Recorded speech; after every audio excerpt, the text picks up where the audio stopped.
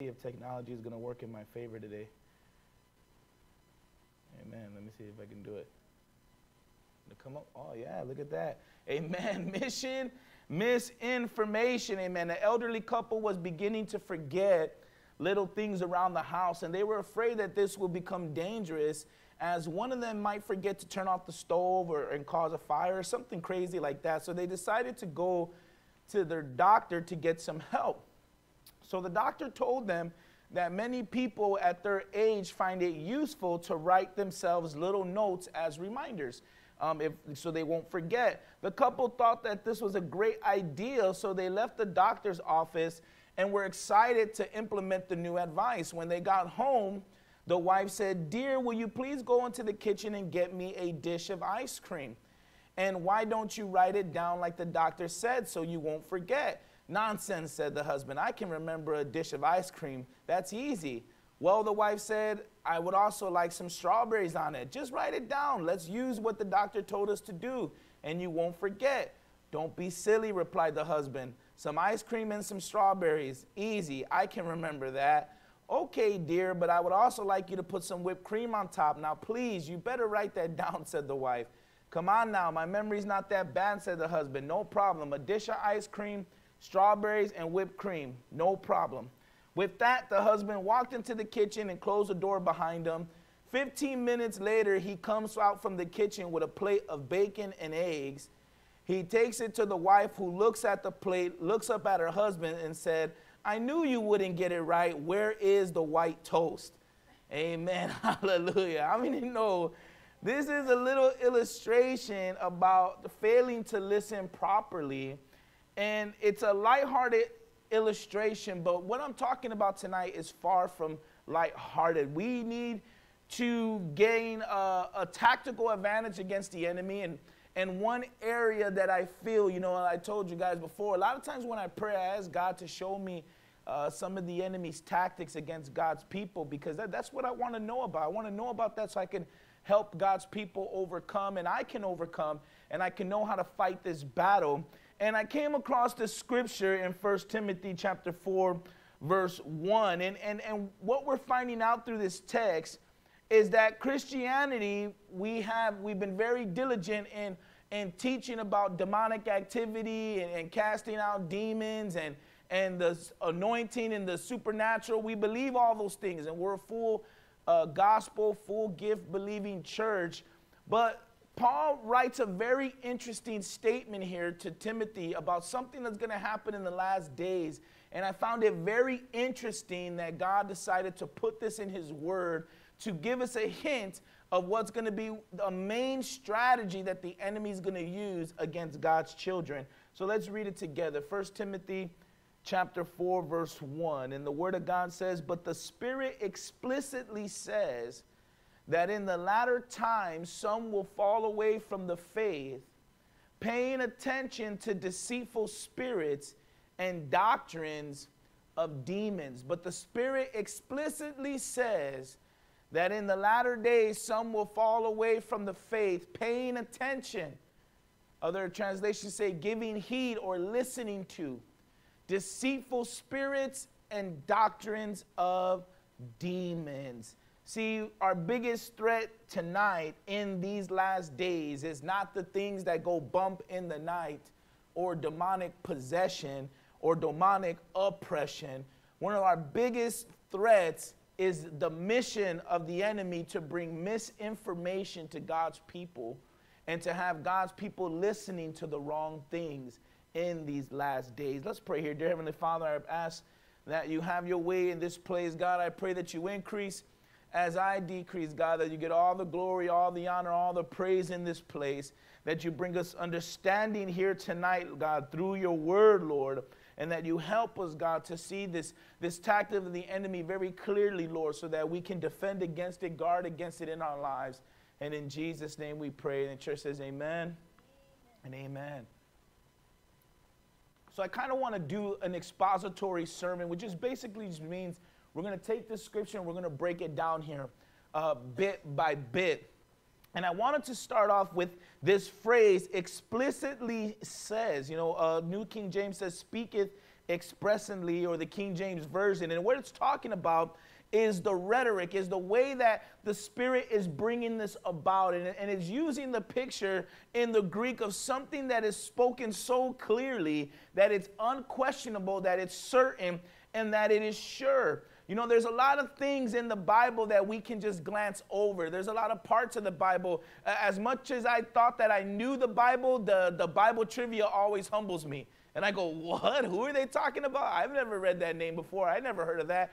And I've listened to thousands of countless sermons in my lifetime, and I still am um, surprised and taken aback by different things that I read, and I'm like, man, or different things that I hear or see. Because sometimes the, the, the mind has a way of taking things that are less important to us and kind of sweeping them away um, to another place. You know, I don't know how many here are afraid of uh, bugs, you know, but, uh, but uh, too not too many of us, I would say, can see a spider and it runs off into the uh, behind a wall or something, and we're up all night waiting for the spider to come back out, right? No, we kind of have a way of just going on about our lives, right? We seen it there, it passed by, it could have posed a threat. Maybe it doesn't pose a threat at all to you, uh, but but it's hard to just.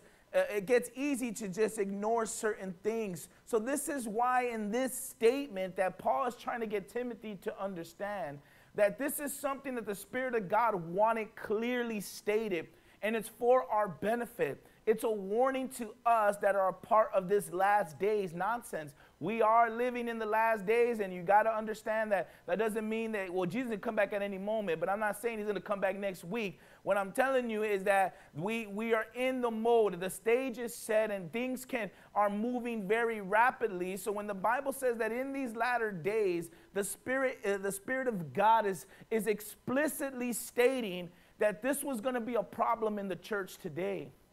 And as I'm reading this, I'm like, wow, like the word of God just comes alive because I know many, many believers uh, and a lot of believers that I don't know personally, but I can just see the things they write on the internet on different Christian songs or posts. There is a mission to just bring misinformation and misunderstanding of God's word to God's children. And there's people following crazy doctrines. I was watching, and, and, and I get so mad because I'm like, man, it's these type of churches that hurt people, and then they don't want to come to a good church. I, I seen a video of a church, they're like only in church, and, the pastor's got all the women laying down on the floor, and then he's got his belt out and he's spanking them all on by the altar. Crazy stuff, right? But it's happening in the house of God. So we got people who come in and they've been to churches like that. They've had crazy experiences, and it's a tactic from the enemy. See, many of us are looking for the wolf, and we don't realize that the Bible says that the wolf comes in sheep's clothing. And, and this verse wants to illuminate this thought process. It's trying to get the oil running in our in our the engine that is our mind and say, wait, wait, hold on a second. Uh, my biggest threat in the last days is misinformation is listening to the wrong things and following the wrong things. And the Holy Spirit really wanted us to grasp this. 2 Peter 3:16, I have it here. Uh, Paul, uh, Peter writes about Paul says, also in all his letters, he's speaking to Paul here, speaking in them of these things, in which are some things hard to understand, which, notice the correlation here, the untaught and the unstable so he's saying there are people who are reading hard to understand scriptures, and because they are untaught and because they are unstable spiritually, he's not talking about mentally psychopaths, he's saying un- spiritually they're unstable. What do they do? They distort. He said, as they do also the rest of the scriptures. And what does it bring about in their lives? Their own destruction. And, and this is the fight that is in church. You got, you got uh, uh, pastors that strive to bring God's word and bring it in clarity and bring it in power. And then, and then you got people who still just want to do their own thing and listen to crazy people. But it's a sign of the day and the age that we live in. But the question is not what everybody else is going to do. The question is, what are we going to do as believers? 2 Timothy 2:15 says be diligent to present yourself approved to God as a workman who does not need to be ashamed accurately handling the word of truth. So we have a responsibility to ourselves. There's going to be a lot of goofies out there. There's going to be a lot of pastors spanking their congregation. There's going to be a lot of weird people saying weird things about the Bible, doing weird things with the scriptures. Paul warned us, Peter warned us, telling us they, they do this to their own destruction. But what are we going to do? We are responsible for ourselves and the information that we're allowing to come into our lives and the information that we are allowing ourselves to live by. We are in control of that. And we have a call to be diligent. This is not something that you just you just take for granted. Oh, well, I have the Bible and I read it a few times. I go to a Bible believing church, so I'm good. That's not something to take for granted. We must be diligent that we are presenting ourselves approved to God, that we don't need to be ashamed, that we say, No, I know that I'm accurately handling the word of truth. The people that are distorting it, the ones who are spiritually unstable, you know them. I know them. There's some of them that are in my life. I know they're spiritually unstable. I don't get caught down the rabbit holes with them. I tell them, hey, you know, if I hear something weird, uh, okay, no problem. And I push on with my life. But I don't allow myself to get drawn into those crazy debates, distortion of scriptures, things that I just outrightly know are wrong because what the enemy wants to do is plant a seed. The devil knows God's word more than me and you. He knows the scripture where Jesus says, just like the gospel is a seed, the devil wants to plant seeds of lies and seeds of misinformation. And he says, if I can just plant this in their mind, they'll, they'll, they'll push it to the back. They won't even think about it no more. And little by little, that thing can grow in their mind. And it says that this is something that the Holy Spirit wanted us to know about not to scare us, but to prepare us. So it says, no, listen, this is something that's around the corner. And in the latter days, we're going to have to be able to prepare ourselves and defend against this line of attack up here.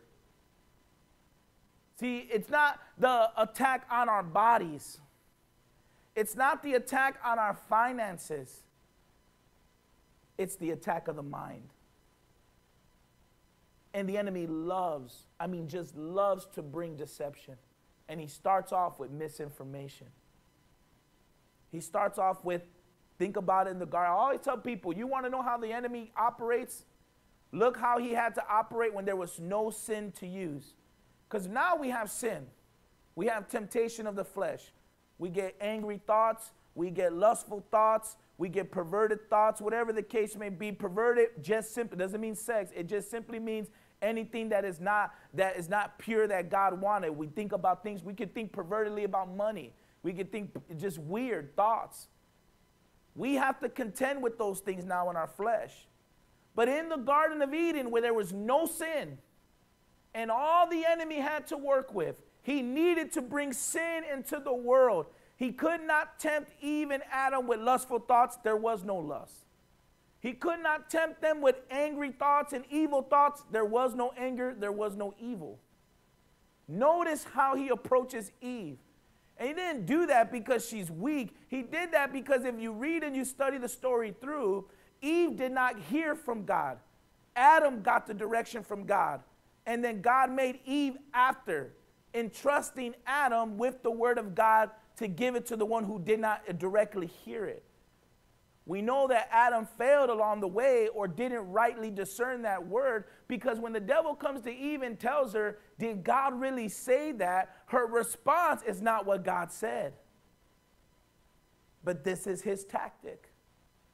And it's as old as time itself. And he wants us to question different things. He wants us to think differently about what God's word says. There's an attack on God's word and about the information from God's word. And you have to decide as a believer what am I going to do? Am I going to prepare myself? Am I going to get in God's word? Am I going to know what I'm listening to? Am I going to control the different people that I'm allowing to have influence in my life? Because there's some spiritual cuckoos people out there. Believe me. I've met a bunch of them. I met some of them that are in sexually immoral lives I mean, literally living just in direct perverted sin. And then they'll tell you that they have the anointing of God and they're healing people and they're walking and, and people are getting slain. And I'm like,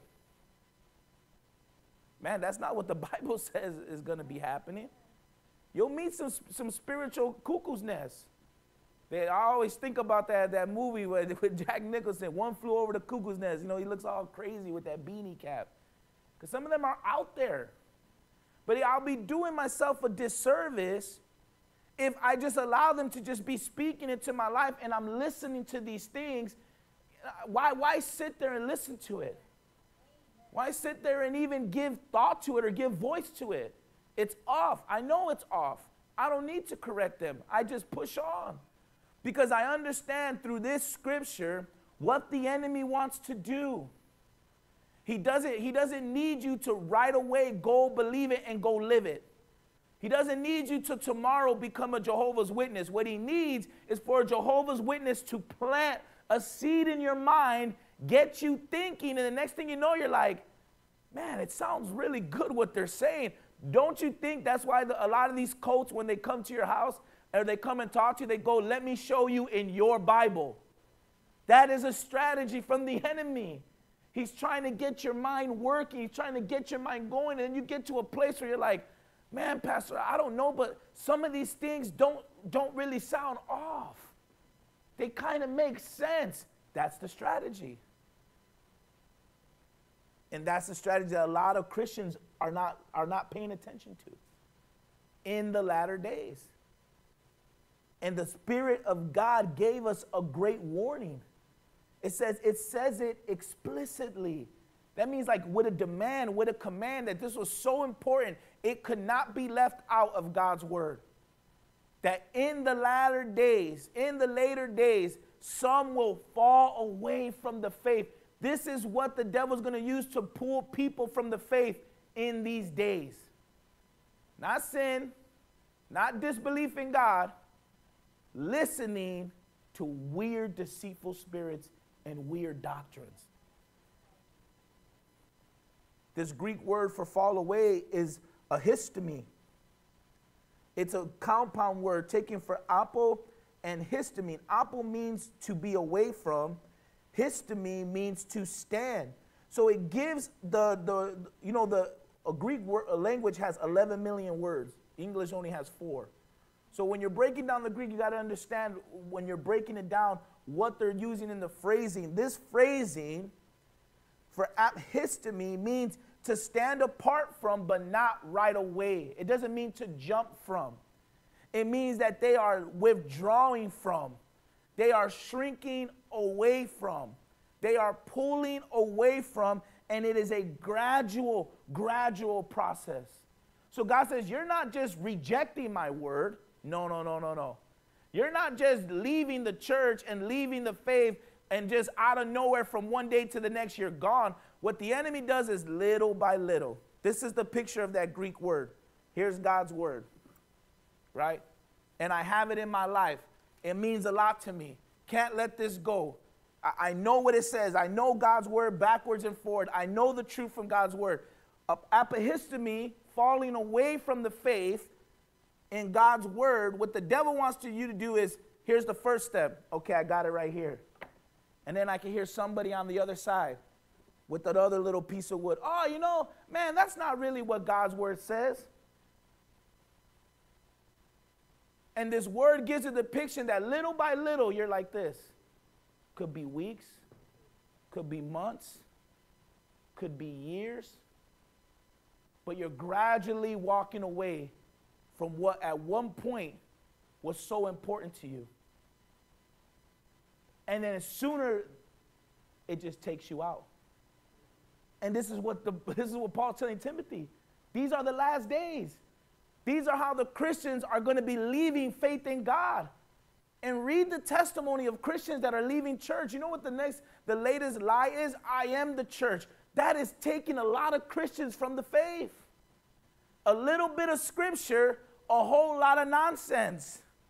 But little by little, they believe it. And now you got Christians who are encouraging other Christians not to have a home church, not to have a pastor, not to go to Bible studies. Just decide for yourself what the Word of God means. You don't need to, a church. You are the church. Little by little, they're walking away. It's a gradual departure. What's sad is this, this phrasing also depicts a person who doesn't even realize that the transition is taking place. They don't even notice that they're that far away. Like the undercurrents at the lake, just pulling you out slowly, slowly, slowly. And you wake up and you're like, man, the shore's all the way over there, and I'm all the way out here now in the middle of nowhere. See, we look for the outright rejections of God in our lives. And we say, no, no, no, that's wrong. That's sin. I know that that's wrong and that's sin. And we say, that's the devil trying to attack me. Quit on God, that's the enemy. He wants me to quit on God. And we see all the blatant attacks, and then we don't even realize the subtle ones that the enemy has started to place in our, our path. I met good Christians. They tell me, man, I was so close to just leaving the faith altogether because of all the nonsense that was going on in churches. But it's the latter day tactic from the enemy to fall away from the faith slowly, gradually, one step at a time, little by little. And it starts with listening. He says they're paying attention to deceitful spirits and doctrines of demons. Some, in the latter days, some will fall away from the faith. Why are they falling away? Because they've been paying attention to deceitful spirits and the doctrines of demons. This word, pay attention, is from the Greek word prosecho, meaning to embrace. So it's talking about somebody who is embracing one thing, but here's the beauty of the Greek language it's not talking about somebody who's just grabbing something, right? They just grab it and walk away, embrace. It literally means this this thing is here. I have God's word, the truth. I want to embrace the lies of a deceitful spirit or a doctrine, a demonic doctrine, I'm literally making an exchange. I put down one and then I embrace the other. So the scripture here is saying that this is what is taking place. Little by little, the devil says, I need you to wander this way. Listen to this spirit. Listen to this lie. And little by little, what you thought was so solid in your walk with God. No, I know this is true about God's word. We can start to exchange that for something that's not biblical. This is why there's Christians out there who can read a straight up scripture from God's word. They can see the correlation from the Old Testament to the New Testament. They can say, no, no, I don't have to live that way. All the while they say, don't what? Deceive yourself. Deceitful, root word deceive, spirits that don't want you to have both thoughts living together. They want you to exchange one for the other. Wandering away, losing one's path The spirits in today's day and age, their main goal is not to blow out your tire. Their main goal is not to have you stub your toe in the middle of the night or trip when you walk. You ever be walking down the street and just randomly trip and then you get all embarrassed looking around? Who's, did anybody see that? You're like, man, lying devil? No. the spirits of this day are not trying to trip you up. They want to bring lies and confusion misinformation. So slowly but surely, you willingly exchange the truth for a lie. And you embrace it. Notice that word to embrace. You embrace and you accept it the same way. You ever notice you can be in a, I'll say conversation, not debate or argument. Conversation with another believer who's just believing an outright lie that's not true from the Bible Notice how strong they are in their defense because they've embraced it.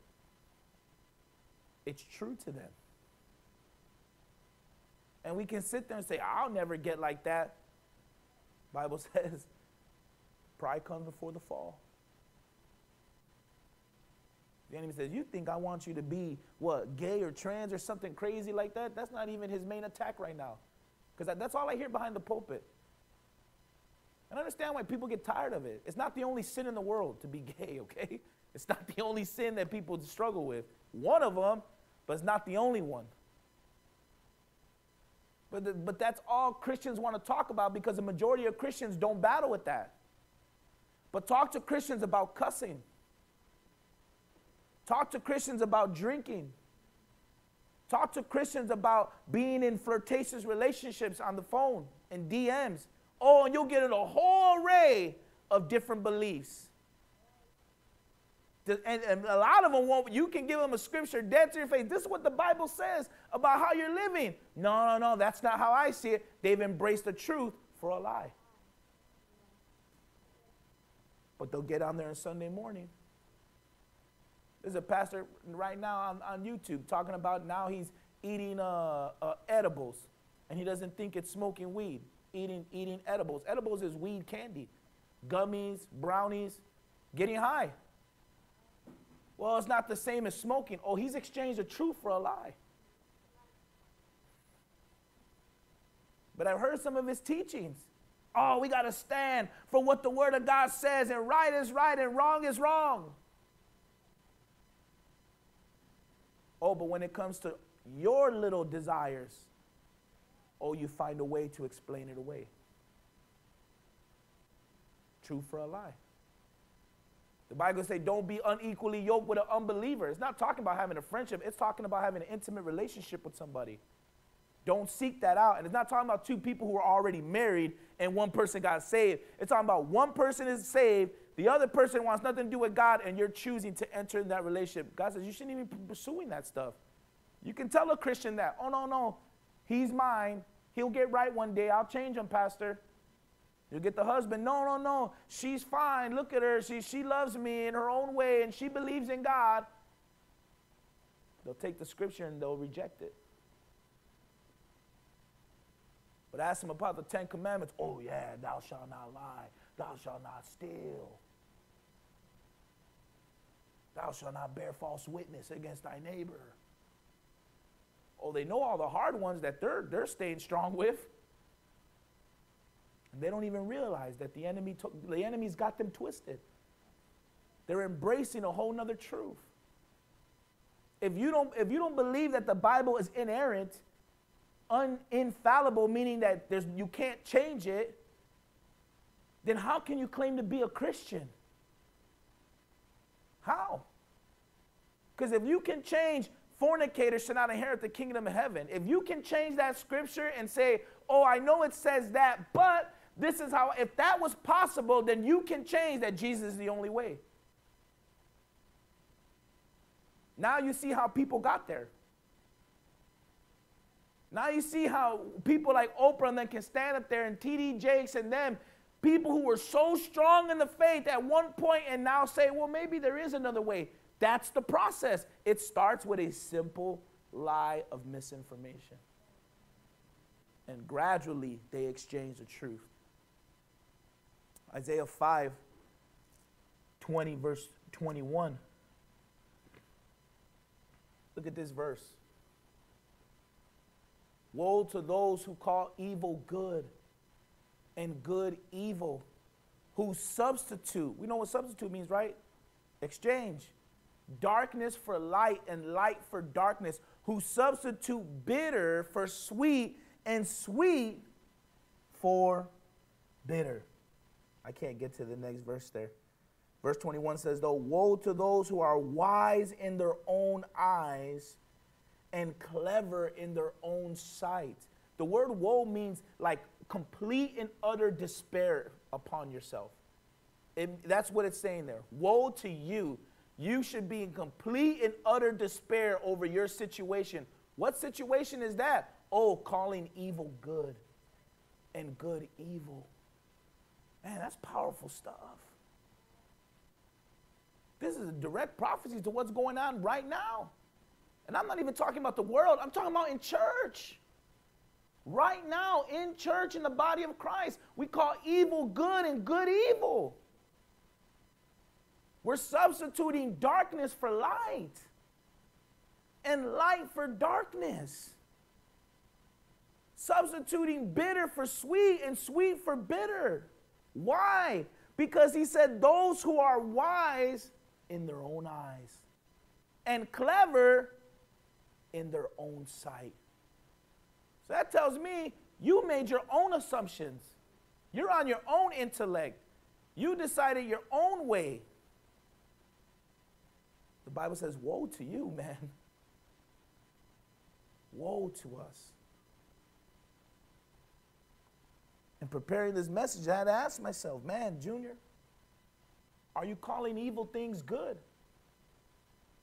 That's a real question to ask. I'm not holier than thou, mighty than thou, stronger than thou. I'm a real person just like you and me.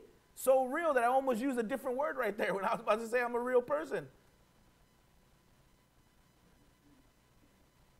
I got to decide for myself. In my life, in my walk, am I calling evil good and good evil? Am I substituting darkness for light? Sweet for bitter? Do I think I'm clever in my own eyes? Do I think I'm wise in my own eyes? Questions we should be asking ourselves. But often we don't. You know who we ask that of? Other people. All the time. That's why Jesus said, before you can help anybody else, you got to help yourself. Because Jesus knew by human nature, we just automatically, we know the answers for everybody else's life but our own.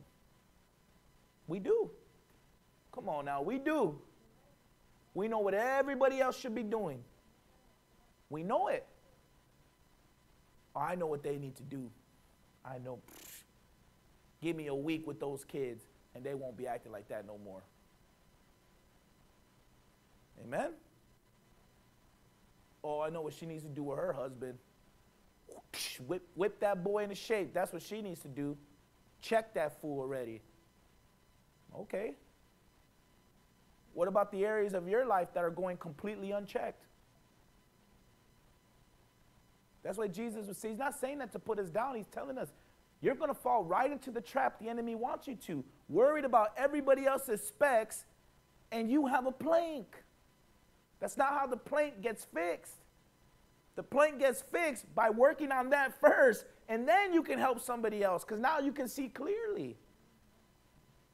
And Jesus knew this. He goes, No, no, no. He's trying to tell the disciples, listen, don't worry about everybody else's stuff. Before you can help anybody else, you got to help yourself. Just like on an airplane, what do they tell you about the oxygen mask? Before you try to put someone else's mask on, put yours on. Because God forbid you're trying to help somebody else and you pass out from no action, oxygen, now you both pass out. Right? That's why they tell you that. Before you try to help anybody else, Ask Brother John if I'm lying. I'm pretty sure he's been on a lot of flights. Put your mask on first, and then you can properly help somebody else. And this is what God's telling us to do. Jesus said, No, no, no, first work on your plank because then you can see clearly. What are we going to see clearly? Now we can see how hard it is to change things in our lives. So now we're going to come with grace instead of rudeness and meanness to our fellow brothers and sisters, we'll come with grace. Because now I'm looking at somebody, I'm saying, man, do you know the battle I just went through pulling out this plank? It's going to be hard to get your speck, brother or sister. But I'm coming with grace now. I'm not coming in pride like, oh, you, this is all you got to do, just rip it off like a band aid, just yank it out. No, because you didn't go through it. But once you go through it and you came out on the other side, now you can help people. But the devil says, no, no, no, there's nothing wrong with you. Didn't Paul say there was a thorn in his flesh? Yeah, that's all this is. That's all it is. You don't got to, don't even think about it anymore. Don't even worry about it. It's just to, it's always going to be there. The doctrines of demons. I'm almost done here. You know what this word doctrines in the Greek is? It's, uh, the word is dida, didascalia. It means a well packaged teaching that is easily applied to a lifestyle. Isn't that interesting that they chose that Greek word there for a doctrine of a demon? A demonic doctrine. Oh, not something that's real confusing. The lies of the devil, oh, you don't need to know the Greek or the Hebrew for that. You know what he prepares for you, the devil? Just like when you order those boxes from the internet and they ask you all your favorite things you like and they say, We're going to send you a personalized gift every month, just how you like it. This is what the devil does. Who I got up? Demonic forces of Whiting. Who's up next? Oh, Irene? Okay. No, no, you know what? You know what I got to get for her? Oh, I know what I can grab for her.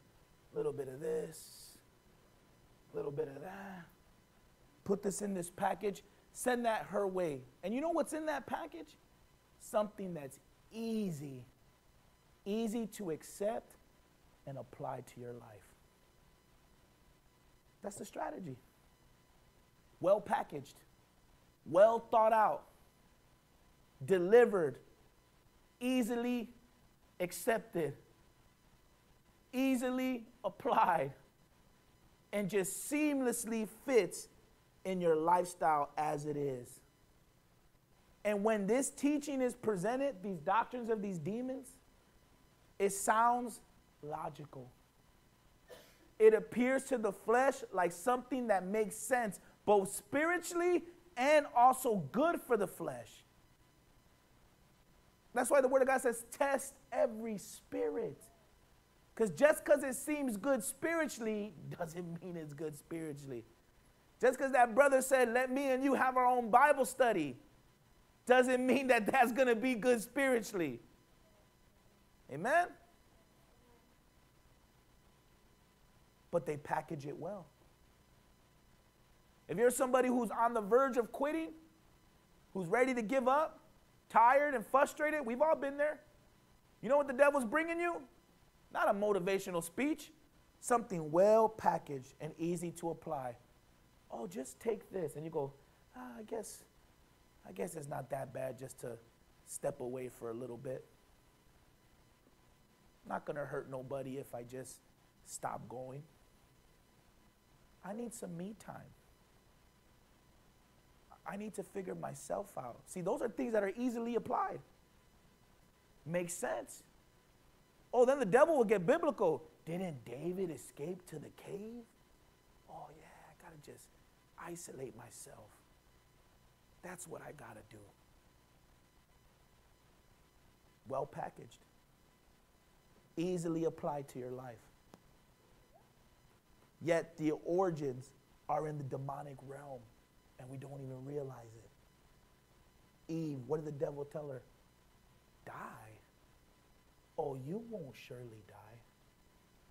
No, no, no, no, no. That's not what's going to happen. You know what's actually going to happen is you'll be like God, knowing what's right and knowing what's wrong, good and evil. Then the Bible says that Eve, looking at the apple, seeing that it was good to eat, pleasing to the eyes, and desiring to make one wise, well packaged, logical, spiritually and physically, and easily applied. Just take a bite. And that's the enemy. And that's the way he works. Not like the movies portray him shaking doors and breaking windows and opening up fridges and, and has uh, deep freezers walking up the stairs like that. He doesn't work like that. You know how he works? Well packaged, logical, both spiritually and physically, and easily applied. And then he just stands back and watches. Fully satisfied that one, you're still in the faith. Did you notice the phrasing? Falling away, gradually walking away. The devil's fully satisfied that all he got you to do was take that package. Because he knows, oh, it might take a year, two, three, four, however long he has to wait. But the more you embrace that instead of God's truth, the more you'll just gradually till you fall away. Kent Crockett, in his book, I Once Was Blind, but Now I Squint, he wrote this When you're driving your car and listening to a radio station, you'll get the clearest signal when you're closest to the tower. It's easy to hear the station's music because you are near the source. But if you're driving out of town or going away from the tower, the radio signal gets weaker and starts breaking up. When you stop hearing that station, you'll eventually start picking up other radio signals from other stations, getting stronger as you get closer. This is what happens in the spiritual realm. When we are spiritually close to God, we're able to clearly hear Him. But the moment we start to drift away, His voice gets softer and softer, and then the enemy comes with his radio station. 2 Timothy 4 3 through 4, my last verse. Well, second to last. For the time will come when they will not endure. The word endure is talking about they just they can't put up with it anymore. Can't take it anymore. They will not endure sound doctrine, but wanting to have their ears tickled. They will accumulate for themselves teachers in accordance to their own desires and will turn away their ears from the truth and will turn aside to myths. This scripture has recently literally gave me chills to my bones. You know what I thought about when I was reading this? Social media subscriptions. Because we decide who we want to listen to and what we want to see. And he said, because they want their ears tickled. Other translations say itching ears, because they have something that they want scratched, they'll accumulate for themselves. Teachers, not teachers who don't agree with them, notice that, in accordance to their own desires. And they'll turn aside to myths. John 10 27 says, My sheep, Jesus said this, hear my voice, and I know them, and they follow me. See, when you stop following, you'll stop hearing. And then you need to ask yourself, what am I listening to now?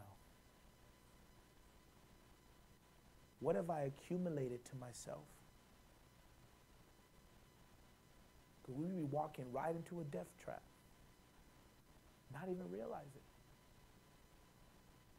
Now we see why the Spirit said explicitly, no, you better hear this and know this, that in those later days, people are going to be falling away simply because they were listening to deceitful spirits and doctrines of demons. What are we taking in? What are we embracing? What are we exchanging? We all know it's the last days, so here's, here's your knowledge now. This is the tactic. So now what are we going to do? Are we going to continue to give the enemy that place in our lives? No, no, I know your strategy now. I see what you're trying to do now. No, no, no, I'm going to defend myself against that. And I'm going to watch even more diligently what I'm taking into my life, what I'm accepting as truth. Is it based off what the Bible says? Or am I trying to be wise in my own eyes, clever in my own sight? Bible says, Woe to you if you want to live that way. Because you'll end up calling evil good and good evil. You'll end up calling bitter sweet and sweet bitter. God says that's a scary, scary place to be. Let's have every head bowed, every eye closed. The